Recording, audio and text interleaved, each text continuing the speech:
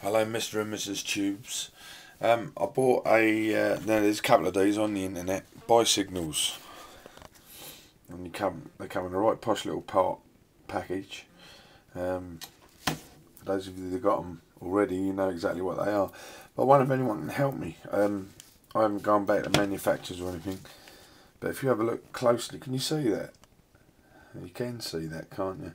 It's really weird. It's as though um, the lights are just a bit of unwrapping here. It's as though the lights are still on, even though they're switched off, but very, very, very low. I don't know if that's done to maintain wireless connection or not, but look, you can see it. You can see it. It's really weird. It's very strange. It's uh, it's not a reflection of the light that I've got in the room. If I turn the lights off, you will see that it's still there. I don't know what it is. Um, I can't see anything in the book about it. Um, in fact, it's much brighter now. It's really strange. Uh, they're just glowing. They're just glowing like there's just enough current going through them. Um, weird. I don't fully understand it at all. So if anyone out there can answer the question for me, I don't know if they're supposed to do that or whether that's a fault. Um, I only got them today, so when the batteries are flat tomorrow, then I know it's a fault. But at the moment, I don't know because I haven't had it long enough to be able to tell you. Um, for those of you who are wondering whether that's what the lights are like on when they're on, I'll just prove to you that it ain't. Because they are fucking... Uh, what am I pushing the wrong button here or something?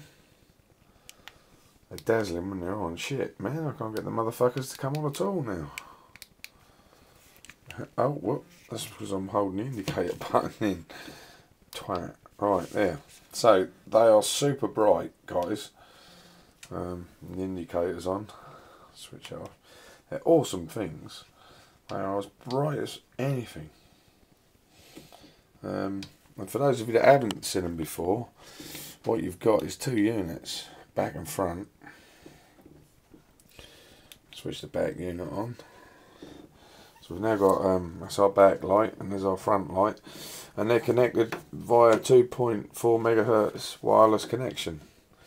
So if I hit an indicator on this side, then the indicator comes on on that one. Hit an indicator, stop that, and that indicator will stop.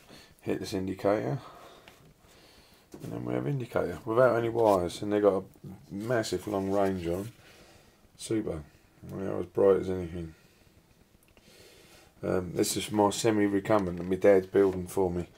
But my question for YouTube and YouTubers is: Does anybody know why on earth I've got leakage?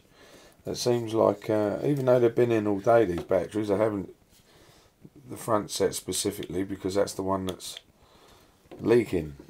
It seems like there's leakage there and any technical people amongst you will know what I'm talking about.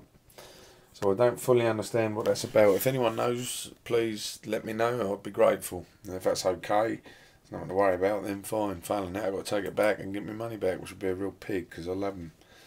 Alright, guys, now fuck off. Cheers for your help if you can help me, tar.